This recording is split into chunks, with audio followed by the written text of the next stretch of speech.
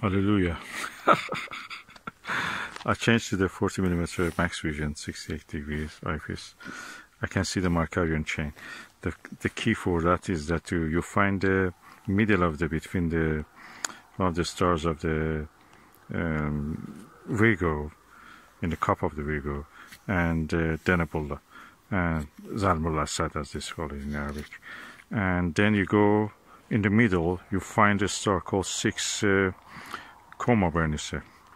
And that six uh, star is a uh, top of a triangle, and then another two, um, two stars uh, away to the right of it, to the left of it, it's slightly to the top. Then another two star. If you come from that asterism, with six uh, Coma Berenice is the tip of it, you come down from that south, you will see the is unmistakable. You you find the Markarian chain. Markarian chain is after Markarian, which was a Armenian astronomer who, who compiled the catalog and is, is named.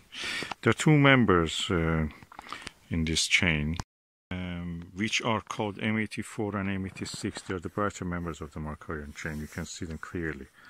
They're as bright as the yeah, I can say that half the brightness of the uh, M81 and M82 Bode and Cigar Galaxy. And they're unmistakable when you find it. You, you have to darken up your eye so you can see the rest of the chain. And these two brightest members are, are easy to find.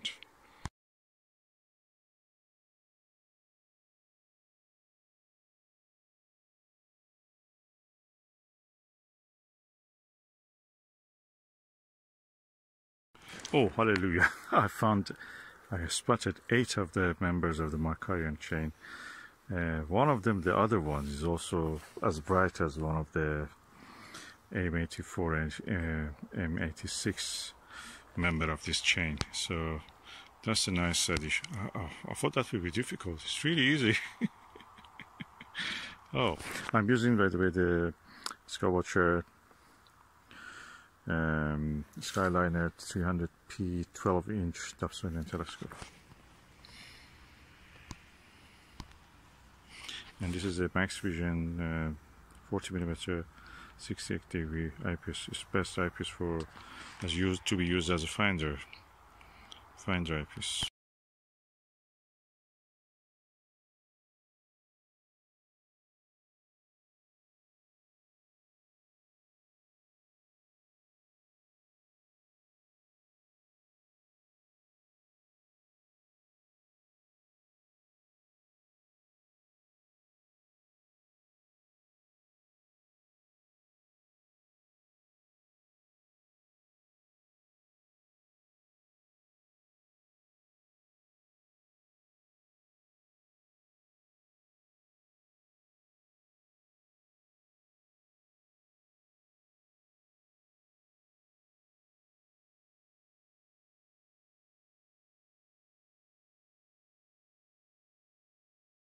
Okay, I'm using now the APM 20 millimeter 100 degree eyepiece.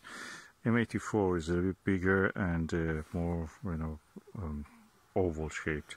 M86 is a, is a spherical almost. They're quite bright. They have a bright nucleus. and it's very easy. I didn't see any spiral feature on them, but uh, um, I don't expect that. But probably they are. They are not a spiral. They're kind of pristine galaxies. Very beautiful. Everywhere is littered with the galaxies. In this area, everywhere you look, there's a galaxy.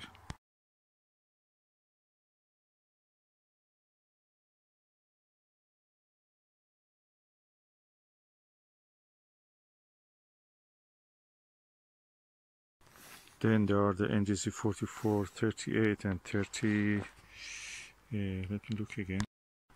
Uh, and NGC uh, 4435 and 4438 of course they're, they're, they're, close together and they're part of the Markarian chain so I'm sure that I'm looking at it.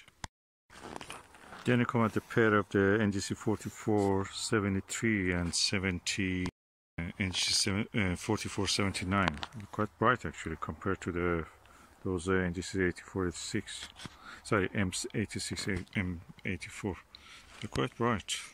And between them, there is another fainter galaxy also between these and the previous ones.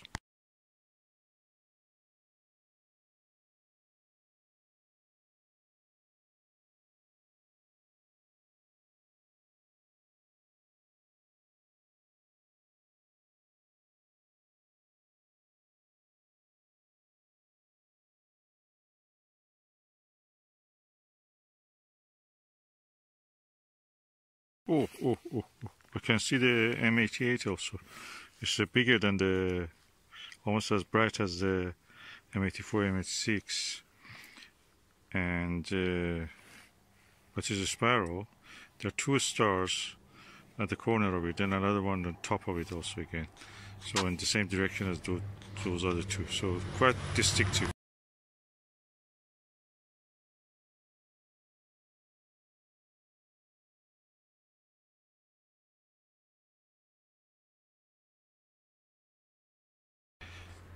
So you cannot miss it. This is beautiful. Oh god, it's full of galaxies in this area.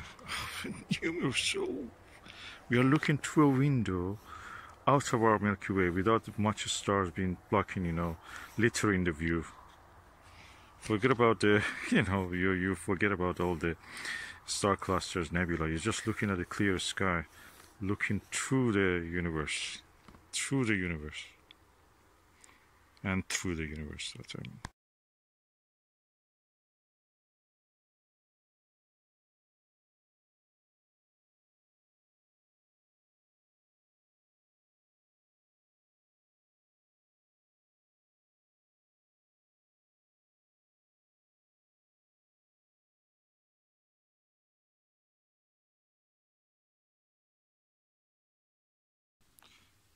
And when you see the M88, a little bit toward the right, if you go, uh, you will find the M91, another galaxy bigger, fainter, but is oval, unlike the M88, which is a spiral.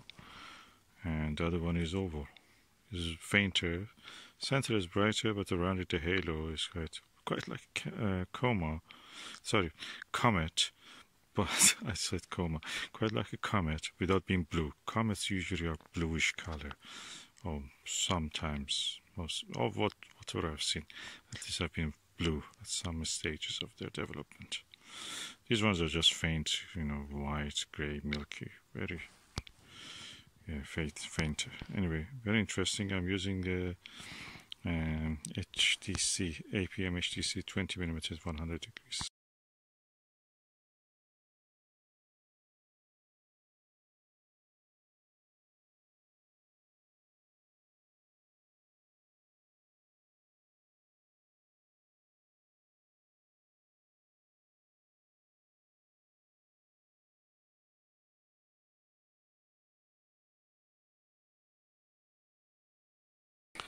Uh, when you use the Ethos 30mm M88 becomes quite impressive. The two stars which I mentioned in the spiral arm, in the halo of it, very clear, and you can see the actually pattern of a kind of oval spiral shape. And the the um, the center is not uh, circular. You can see the brightness of one of the arms or a collection of arms. Funny enough, when I put this first, I forgot to remove the cap on this end of it. so it was practically black. Then I realized, why so I cannot see anything. I cannot focus anything. When I removed that, I could focus and see everything. It's quite nice and very detailed. The sky background gets really dark when you use this.